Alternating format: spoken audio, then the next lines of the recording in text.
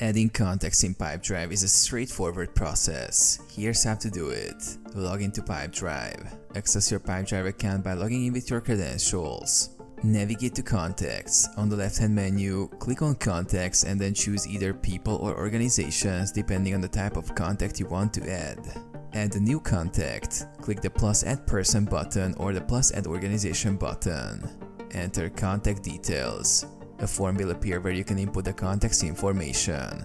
For a person, fill in fields like name, organization, email, phone number, and any custom fields relevant to your business. For an organization, enter details such as organization name, address, and related notes. Associate with deals. If the contact is linked to a specific deal, you can associate them with an existing deal or create a new one by clicking on the Add Deal option in the contact form.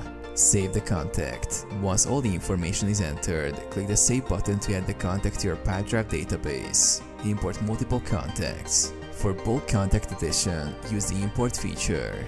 Go to contacts, click on the import button and upload a CSV file containing your contacts. Follow the prompts to map the fields correctly and complete the import process. Verify and customize. Review the added contacts to ensure the details are correct. Customize fields and text to organize and segment your contacts for better management.